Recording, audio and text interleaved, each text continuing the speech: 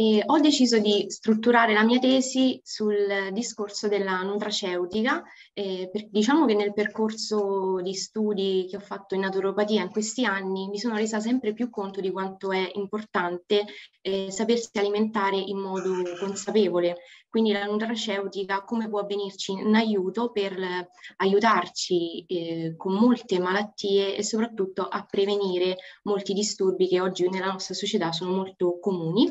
E per quanto riguarda questo, il giardino dell'Eden mi rimanda un po' a una situazione di ehm, di benessere, quindi non ha nulla a che vedere ovviamente con l'aspetto religioso, ma è una situazione in cui Madre Natura ci ha messo completamente a disposizione tutto ciò di cui abbiamo bisogno.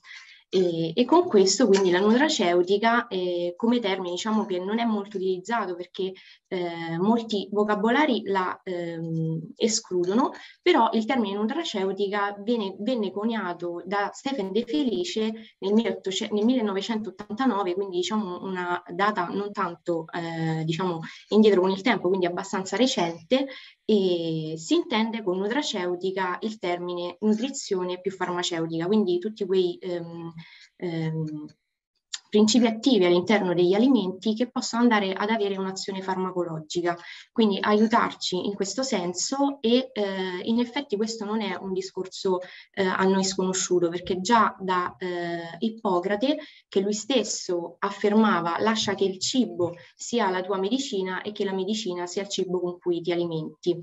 Eh, questo eh, ha fatto sì che la nutraceutica eh, abbia una grande valenza sotto questo punto di vista. In realtà è molto difficile da dare l'inizio della medicina, soprattutto la medicina, la nostra medicina tradizionale, ma possiamo ricordare due ehm, eventi specifici. Ehm, uno riguardante eh, Edward Jenner, nel 1796 quando per primo effettuò la vaccinazione contro il, eh, la vaccinazione contro eh, il tetano, se non sbaglio, e eh, lui diede inizio alla medicina preventiva. Bisogna aspettare intorno al 1929 quando Fleming scoprì la medicina, eh, in qualche modo scoprì eh, la penicillina, quindi attuando un, un'idea di medicina eh, curativa. Nel corso, eh, diciamo che negli anni che intercorsero tra Edward Jenner e ehm, Fleming, unici, le uniche possibilità di cura erano quelle che noi oggi definiamo come cure alternative, medicina alternativa. Quindi mh, mm, mi viene da pensare al, mh, mm, soluzio- allo sciroppo con cipolle, aglio, miele e limone che veniva usato per le malattie respiratorie, quindi come spettorante antibatterico. Ci sono vari ehm, metodi, eh, vari diciamo, cure eh, molto utilizzate in quegli anni che oggi noi purtroppo o comunque in qualche modo ri- risultano ehm, delle cure alternative. Ecco.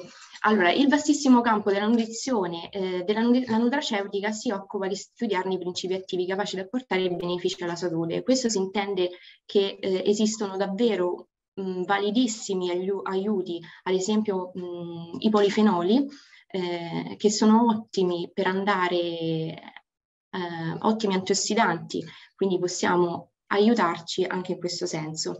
È importante che si stabiliscano dei principi e deve essere considerato sia dal punto di vista scientifico, basandosi su studi certi ovviamente, quindi sono stati fatti tantissimi studi sulla curcumina ad esempio, il principio attivo della curcuma, sul gingerolo, quello eh, attinente al, allo zenzero, il quale è molto, anche molto utilizzato come bioenhancer, quindi una molecola che può dare aiuto ad altre eh, nel caso in cui queste non siano eh, del tutto biodisponibili.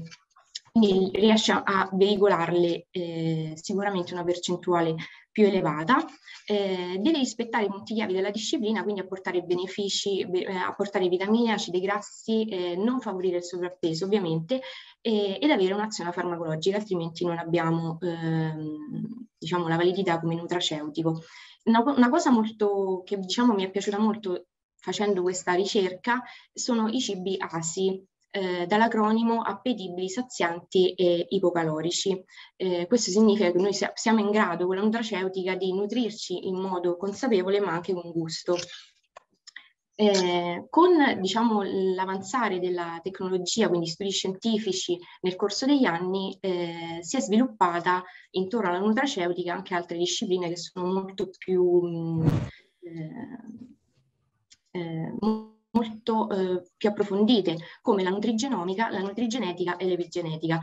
Eh, questo è stato anche è stato un grande aiuto questo studiare il, il genoma umano, che ad oggi noi conosciamo perfettamente, e che è stato studiato anche sotto, in chiave nutraceutica. Ad esempio la nutrigenomica studia la relazione che intercorre tra ehm, i nostri geni e le sostanze nutraceutiche, quindi i principi attivi alimentari, eh, e come queste riescono in qualche modo a eh, modificare l'espressione genica all'interno del, del, nostro DNA. Quindi non, ovviamente non è... Ehm, non deve passare il messaggio che l'alimentazione modifica il nostro DNA, ma fa sì eh, che mh, mm, il nostro corredo genetico si eh, esprima in modo otti ottimale.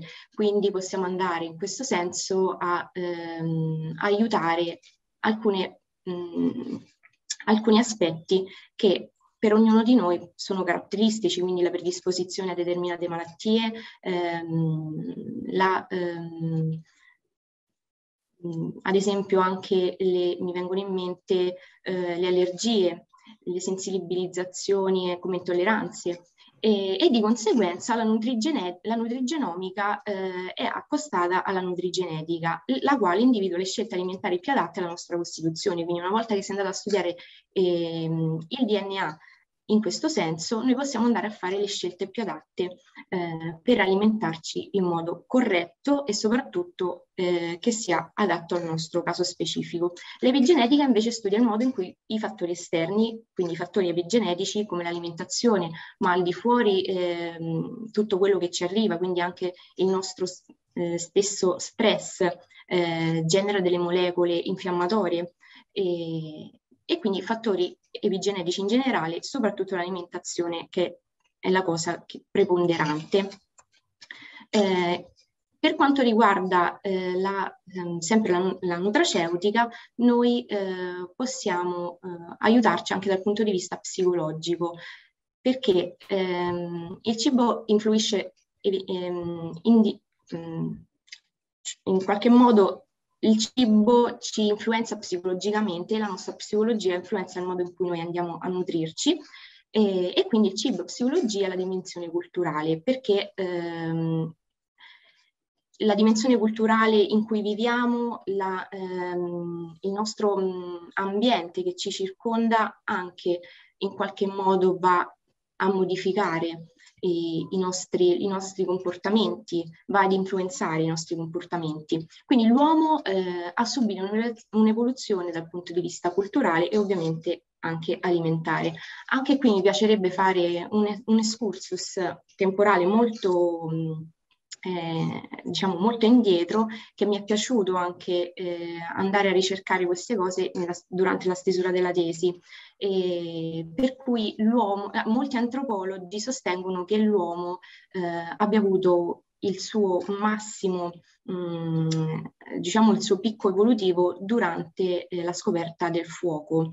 Questo è stato un evento molto mh, mm, importante perché a questo punto ehm, l'uomo habilis divenne Homo erectus e il suo cervello eh, crebbe da 400 cm cubici a 1400 cm cubici. Ovviamente lui in questo modo riuscì a ehm, manipolare la natura anche con la cottura dei cibi e, e il cibo divenne non più una cosa per cui eh, si, andare, si, si, andavano a creare mh, delle tensioni come avviene nel mondo animale, ovviamente l'istinto di sopravvivenza eh, alla maggiore, invece in questo caso eh, il cibo divenne piano piano un fattore di convivialità. Noi oggi attribuiamo al cibo la convivialità in modo molto semplice e naturale, ci sembra quasi scontato, ma in realtà non, non è così, è una nostra prerogativa. E purtroppo però ai giorni d'oggi, nella società in cui viviamo, il cibo spesso è percepito come consolazione, nel senso che eh, siamo sempre più ehm, stressati, dati, ehm, diciamo, viviamo una vita molto frenetica e il cibo a volte eh, può generare dei disturbi alimentari.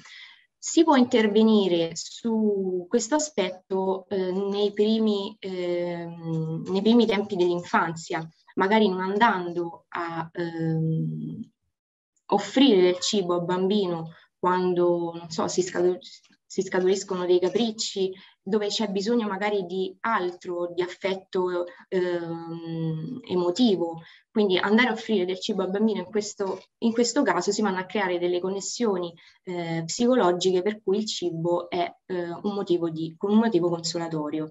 Eh, impariamo a nutrire la mente come bagaglio culturale. Anche questo rientra nella dimensione culturale di ognuno di noi perché in nutraceutica anche qui ci può, eh, può essere un validissimo aiuto eh, perché ci sono molte sostanze, molte molecole, mh, mm, come dicevo anche prima, eh, i polifenoli sono i maggiori, che vanno a diminuire mh, mm, gli effetti dello stress, dello stress. quindi eh, in questo caso ehm, si crea molto cortisolo, una molecola che è deleteria e soprattutto influisce sul, sullo stato infiammatorio e, e, quindi noi con la nutraceutica possiamo, possiamo andare ad aiutarci anche in questo senso, perché se noi curiamo la mente e ehm, abbiamo questa capacità, siamo anche in grado di mh, prenderci cura di noi stessi a 360 gradi. Allora, questo è un, un, diciamo, un estratto dalla mia tesi che eh, ho voluto riportare perché è stato proprio un momento in cui io mi sono resa conto eh, dell'importanza del cibo e come si è eh, diversificato nelle diverse culture. Eh, non so se è il caso magari di, di leggerlo, eh, però è, è all'interno della mia tesi. Beh sì, eh, direi leggiamolo velocemente, ma leggiamolo. Ok. Anzi, leggi tu. Mi sposto la, la casella. che abbiamo un attimo interrotto, vorrei salutare Luciano che si è connesso mentre avevamo cominciato. Buongiorno. Sì, sì, buongiorno, no, ti ho ascoltato.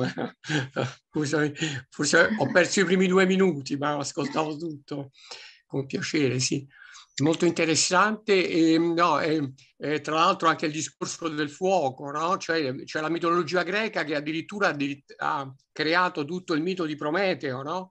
quindi sì. molto interessante, quindi Giove lo punisce perché è comunque un aspetto tecnico no? e quindi questo ci fa pensare anche oggi che siamo un pochino eh, in qualche modo subissati dalla tecnica. Quindi è molto interessante anche diciamo come hai svolto i principi anche dell'epigenetica. L'epigenetica è la parte proprio della scelta, cioè eh, esatto. eh, nel momento stesso in cui io scelgo, come hai detto bene, no? sul piano mentale, eh, quello che poi influisce, poi è chiaro nel momento stesso in cui ingerisco eh, non è più epigenetica ma diventa genetica, quindi sì. bisogna stare molto attenti alla parte proprio preliminare.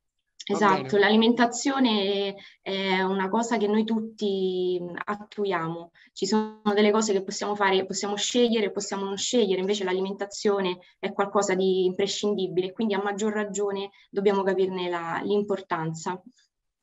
Allora, a primo impatto ciò che ci differenzia sono stati i tratti distintivi che si sono geneticamente instaurati per adattarsi alle differenti situazioni di habitat occupati, ma ancora più, ancor più forti e preponderanti perché frutto di uno sviluppo culturale e sociale. Sono la lingua e il patrimonio culturale. Ebbene sì, perché il cibo, a mio parere, rappresenta la seconda lingua madre di qualsiasi paese, o meglio, la materializzazione della lingua parlata in cibo. Sostanzialmente ciò che ci dice il cibo di ogni cultura. Ad esempio, esempio, se pensiamo ad un tegame, la tagine, con farina di grano cotto e sgranato, ricoperto dal colore caldo del sugo di pomodoro e carne di agnello, ci rimanda con il pensiero al territorio, al torrido deserto del, del Marocco, immaginando la gente la gente di quelle terre intorno a tale pietanza che discutono nella lingua che accompagna il loro cibo. E ancora, immaginando un piatto di spaghetti fumanti, conditi al sugo di fresco di pomodoro, con una fogliolina aromatica di basilico a, a rappresentare la bandiera italiana, in cima alla vetta di spaghetti arrotolati. Oppure osservando la maestria con cui in Oriente il pesce viene sfilettato per ricavarne pezzi sottili come fogli che si sciolgono in bocca, adagiati su mezzo pugno di riso, condito con aceto, zucchero e accompagnato dal pregiato pesce. Dai pretzel, i wurstel, le patate, e i crauti a zuppe calde di carne e verdure che scaldano i cuori nei fresi freddi dell'est. Insomma, potremmo parlare in modo infinito di come sia spaventosamente e ampiamente variegato il modo di nutrirsi nelle varie culture del nostro pianeta, tanto da precedere il popolo che le ha create. Io mi sono immaginata eh, questa stanza eh, vuota di fronte a diversi piatti con le persone che l'hanno offerte al dietro, eh, diciamo, al di là del muro. Io di fronte alle pietanze so di, dall'altra parte chi mi troverò, perché il cibo, per come si è sviluppato e per le tante varietà di cibo che esistono, soprattutto le, mh, mm, le varie ricette, eh, ci dicono tanto di, di chi siamo, da, da, dove proveniamo e la nostra cultura. Quindi il cibo è importante non solo dal punto di vista eh, scientifico, ovviamente eh, dal valore, dalla valenza che ha eh, sul nostro corpo, ma anche proprio culturalmente, cioè questa cosa mi ha eh, affascinato tantissimo. Ok.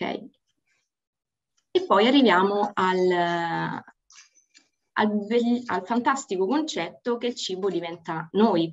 Eh, il cibo diventa noi nel senso che eh, ciò che noi vediamo di fronte ai nostri occhi nel momento in cui ci accingiamo a, a, nutrirci, sappiamo per certo che quel cibo diventerà quello che è il nostro corpo, ma non solo. Mangiare secondo le stagioni eh, come atto di cura verso la natura e verso noi stessi, perché non, mo, non molto spesso si dà peso diciamo, alla, all'importanza di nutrirsi secondo le stagioni, ma non solo per quanto riguarda i vegetali, anche la carne e il pesce seguono una stagionalità ed è importante questo mh, innanzitutto perché fa bene eh, a noi, perché ci nutriamo in modo corretto, ma fa bene anche al nostro pianeta, all'ambiente che ci circonda, perché ehm, ad esempio le carni seguono una stagionalità e, e seguire questa stagionalità fa sì che il ciclo riproduttivo dell'animale eh, non venga meno, quindi non si va ad intaccare mh, in modo aggressivo eh, anche eh, gli animali. Mangiare secondo le stagioni, eh, soprattutto in medicina tradizionale cinese, è un concetto molto importante. Eh, in medicina tradizionale cinese si segue anche ehm, la teoria dei cinque elementi in questo. Infatti, prendiamo ad esempio la primavera, eh, che è mh, rappresentata dall'elemento legno, dal colore verde, è un momento in cui dobbiamo andare a sostenere, cioè la medicina tradizionale cinese, quindi la teoria dei cinque elementi, ci dice che dobbiamo andare a sostenere eh, l'energia del fegato. Eh, quindi come avviene in natura nel momento della primavera dove la linfa risale ai, ehm, nella pianta per andare a nutrire il germoglio, per far sbocciare il fiore, per mh, eh, far nascere le, le foglioline, anche noi allo stesso modo dobbiamo aiutare la nostra energia a risalire e quindi facendolo in che modo? Andando a eh, sostenere l'energia del fegato e andando a nutrirci con i frutti di quella stagione. Allo stesso modo poi per tutte le altre stagioni, perché noi in quella stagione abbiamo tutto ciò di cui abbiamo bisogno, non, non ci serve nient'altro e noi siamo ciò che mangiamo. Feuerbach eh, sosteneva eh, fortemente questa teoria, anche eh, contrariamente al pensiero filosofico religioso del suo tempo. Lui sosteneva che l, la, ehm, il corpo e la mente sono un elemento inscindibile. Non possiamo pensare al corpo come eh, un singolo e alla mente come un singolo, ma questi convivono e eh, partecipano attivamente a quello che noi siamo. E, e infatti, ecco, questa ehm, mi è rimasta molto in mente perché lui dice eh, il cibo diventa sangue il sangue diventa tessuto, il tessuto diventa organo e quindi cuore e quindi cervello, pensieri, sentimenti. Siamo quello che mangiamo, non è solo eh, che diventa solo materia il nostro corpo, ma diventa anche quello che siamo, quello che pensiamo, la nostra energia. In, in un secondo momento eh, si è creata anche la fidolimurgia. Questa è un'altra, eh, un'altra disciplina molto importante mm, che è stata coniata da, eh, questa, questo nome è stato coniato da Giovanni Tognani Tozzetti eh, nel, 1790, eh, nel 1767 perché lui in seguito alla carestia che ci fu in quegli anni, nel 1764, eh, volle aiutare le persone a nutrirsi anche in questi momenti eh, tragici con ehm, alimentandosi con le erbe spontanee. E infatti la fitolimurgia deriva dalla parola alimenta urgenza, a cui è stato aggiunto il prefisso fito per far capire che si intende di, eh, di vegetali, e, e, quindi tutte le erbe spontanee che noi troviamo eh, nel nostro ambiente naturale. Ovviamente adesso è un, molto diverso dal 1700 perché eh, dobbiamo stare attenti se volessimo fare questa, eh, se volessimo nutrirci con la fitolimurgia perché eh, oggi siamo invasi in una società eh, in cui molto, c'è molto inquinamento, quindi dovremmo stare attenti dove andare a raccogliere e soprattutto eh, informarci bene. Poi ci sono ovviamente mh, molte regole ecco, sulla fitolimorgia, però questo è, è davvero un, un aiuto eh, molto importante e, e soprattutto perché le piante che crescono spontaneamente hanno, diciamo, in qualche modo ehm, un quantitativo di nutrienti maggiore perché hanno, senza l'aiuto dell'uomo eh, sono dovute sopravvivere e quindi sicuramente un contenuto maggiore di nutrienti.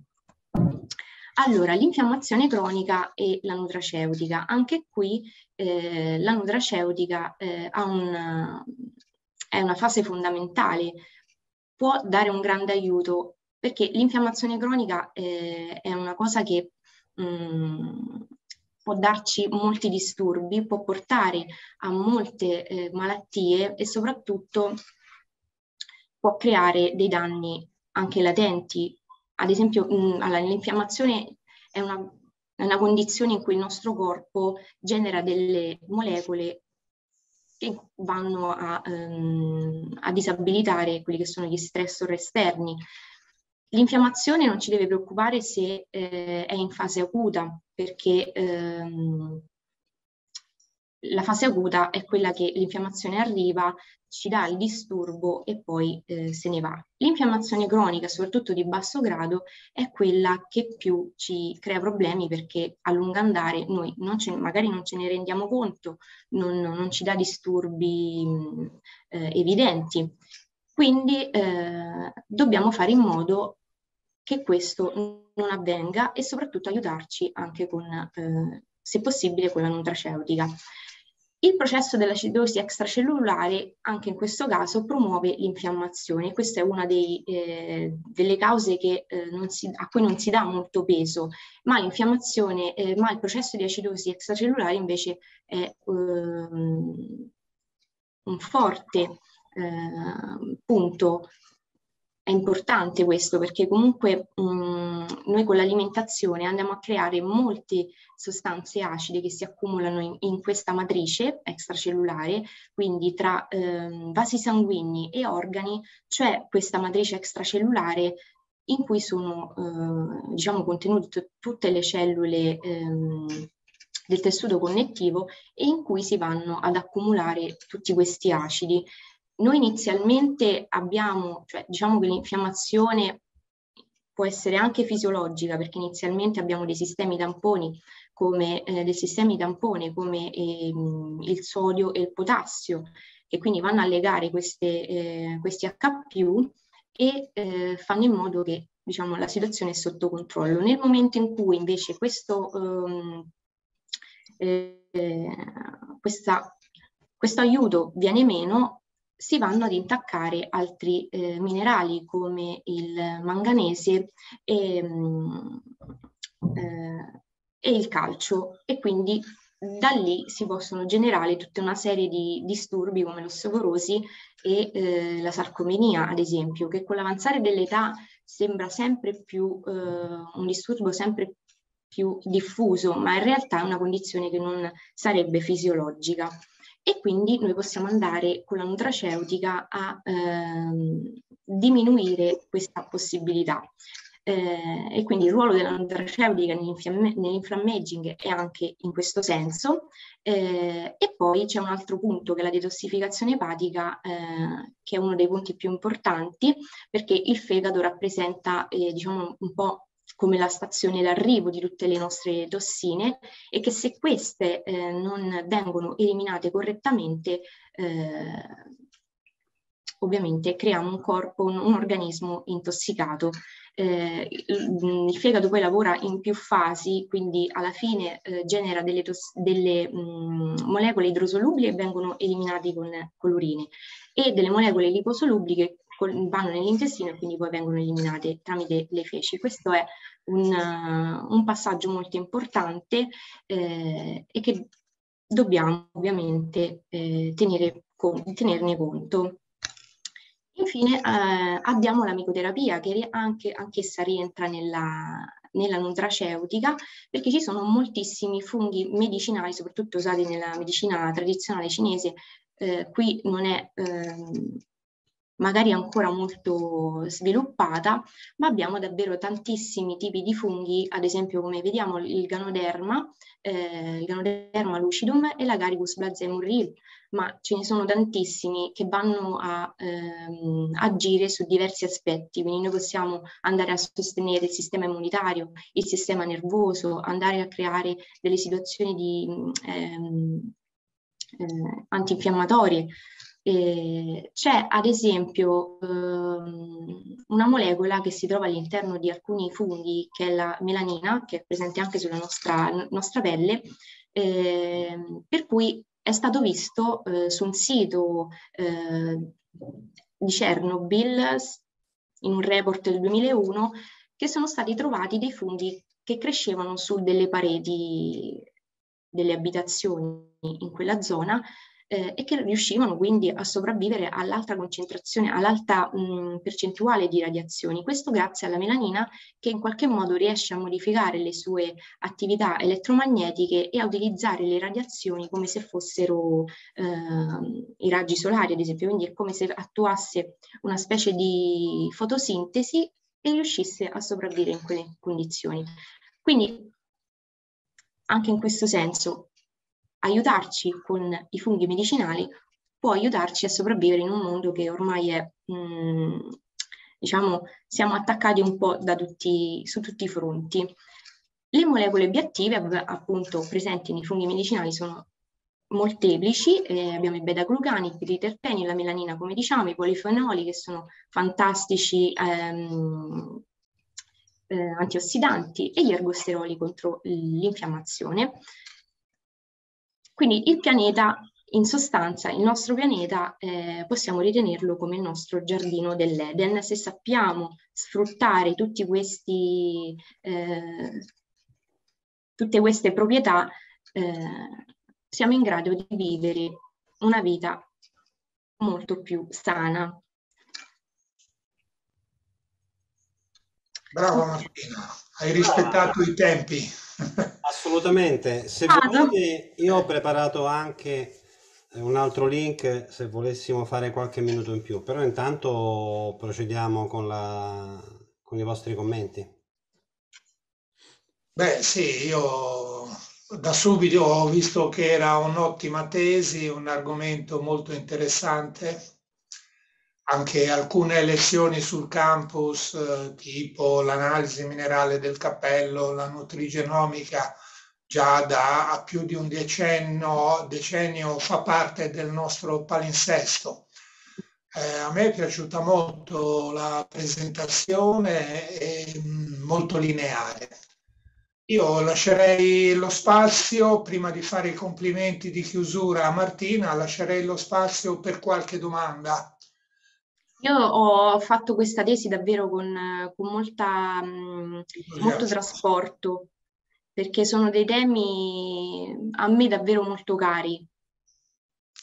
E Giusto. poi ho scoperto anche molte altre cose interessanti. Molto interessante anche l'aspetto dei collegamenti che hai fatto, no? Cioè l'aspetto esterno ed interno, il territorio come territorio esterno ma anche come territorio interno, con la esatto. mente che in qualche modo funge un pochino da frontiera, no? e quindi anche eh, la cura importante che bisogna dare al, al, tipo di approccio, anche in questo nella professione che penso che tu farai a breve o anche subito, no? eh, questo aspetto di accoglienza che permette alla persona di instaurare prima di tutto un equilibrio al suo interno, in modo tale che lui stesso possa essere poi no, eh, maturare il, eh, la, la, terapia più adatta, insieme certo. ovviamente a tutti i consigli che tu gli potrai dare. Certo, ma infatti... è un, un aspetto fondamentale, insomma, per, per, quanto riguarda i naturopati e quindi questo penso che lo hai eh, maturato anche nei tuoi studi. Certo. Eh, il fatto di poter unire tutti questi, questi aspetti e, e, quindi poi trovare le soluzioni migliori anche attraverso appunto la, il, il colloquio, la partecipazione della, della persona che ti chiederà aiuto. Certo, io poi penso anche che se noi siamo in grado di eh, ascoltarci internamente, eh, sappiamo qual è la strada migliore da seguire. Eh certo, e il macrocosmo si rispecchia in noi, quindi nel microcosmo, e non c'è nient'altro da, da dire e da sapere e, um, mi ha aiutato tantissimo a capire tutti questi aspetti. Io ovviamente avendo scelto il percorso di naturopatia, evidentemente in me già nasceva qualcosa e, um, di capire eh, di più, di sapere di più. E, ed è così, ed è stato proprio così, perché um, la mia mente ha iniziato a, a mangiare queste informazioni e a capire quanto è, è meravigliosa questa disciplina e tutte quelle che, che contiene, tutte quelle di cui si, si, serve, come anche la riflessiologia plantare che abbiamo concluso eh, pochi giorni fa il, il percorso, eh, che è un mondo a sé stante completamente. Eh, quindi mi ha formato a 360 gradi. Bene. Sono molto felice di questo, ma non mi fermerò, cioè non mi fermerò qui perché eh, da sapere, non, cioè da imparare non si finisce, di imparare non si finisce mai e, ed è proprio una mia, una mia prerogativa, quindi mh, mm, Bene, mi appassiona. Sostanzialmente comunque noi ci siamo in ogni caso, no? anche per assisterti nel tuo continuo percorso, quindi complimenti e Grazie. in bocca al lupo. Una considerazione, Martina ci sta dicendo che eh, la naturopatia e la formazione in naturopatia fa parte della nutriceutica. In, certo. sostanza, in sostanza ha detto questo.